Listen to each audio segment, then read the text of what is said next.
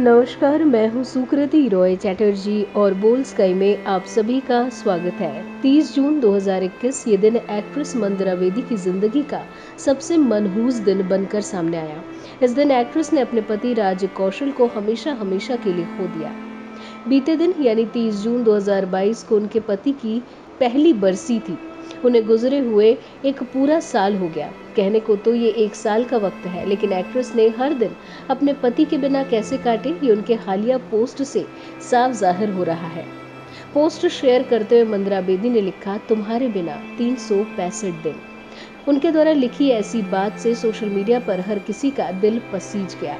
वही अपने पति की याद में उन्हें श्रद्धांजलि देते हुए दो दिन का प्रेयर मीट भी रखा। पूरे परिवार की ओर से रखे गए इस प्रेयर मीट की कुछ झलकियाँ मंदिरा बेदी ने अपने सोशल मीडिया अकाउंट पर शेयर भी किया है।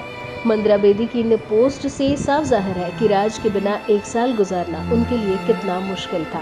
पहली पोस्ट में देखें तो मंदिरा बेदी ने अपने घर पर ही पति राज कौशल के नाम पर ये प्रेयर मीट रखी थी, जहाँ पर उनकी तस्वीर पर फूल चढ़ाए हुए और साथ ही उनकी मुस्कुराती हुई तस्वीर ये बयां कर रही है कि वो आज भी परिवार के साथ ही है। वही दूसरी तस्वीर गुरुद्वारे की है, जहाँ मंदिरा बेदी अपने दोनों बच्चे और पूरे परिवार के साथ मौजूद है। इस दौरान मंदरा बेदी ने अपने कैप्शन में साफ़ लिखा कि गुरुद्वारे में उन्होंने अखंड पाठ के साथ ही भोग और लंगर भी करवाया।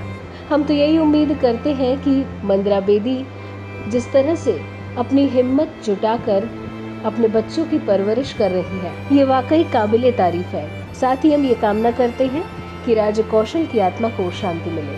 फ़िलहाल इस वीडियो में इतना ही। वीडियो को लाइक और शेयर करें। साथ ही चैनल को सब्सक्राइब करना ना भूलें।